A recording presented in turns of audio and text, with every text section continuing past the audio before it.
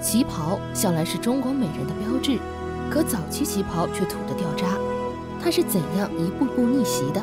看过照片里的深宫女子，你看过真实影像中漫步庭院、坐着雕音的格格吗？左右视频为您独家揭秘这段历史。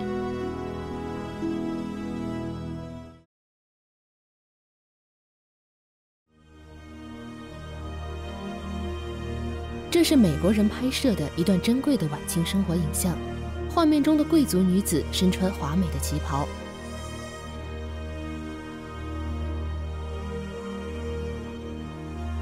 旗袍是满族的服饰，最早是下大上小，袖管细窄，方便骑射。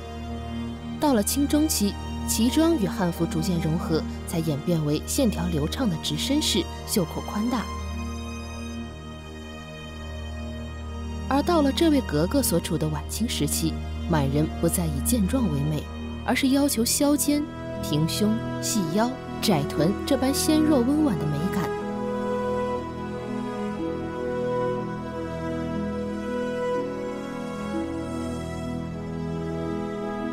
旗袍将女性线条隐藏于宽大衣袖之内，突出脸部和旗袍本身的美感。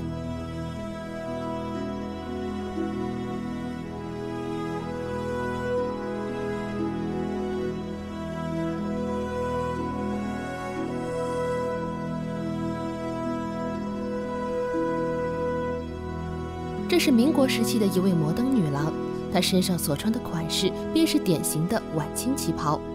可以看到，衣袖、下摆、开叉处都加上了华丽精美的图样。这种牡丹和长春花组成纹样，称为“富贵长春”。繁复的绣纹甚至需要十位绣娘赶工一周才能完成。不仅如此，满族女子穿着的鞋子花盆底也越来越高。为了使身形婀娜多姿，他们甚至穿上二十五厘米高的花盆底，约为高跟鞋的两倍。很显然，这位格格走路时极为谨慎。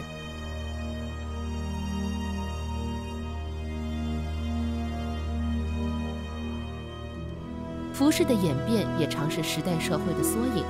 眼前的这套装束，从头到脚都不再有驰骋高原的气魄，而成了贵族安逸的生活方式。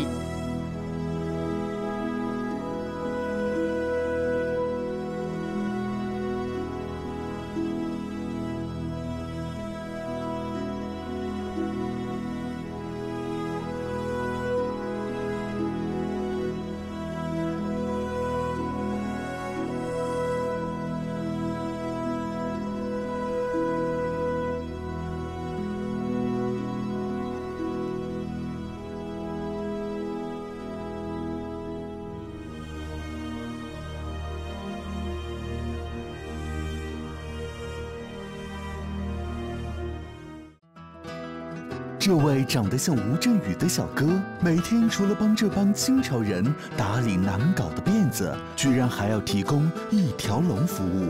关注微信公众号“左右视频”，回复“一条龙”，为您展示史上最好玩、搞笑的清朝珍稀影像。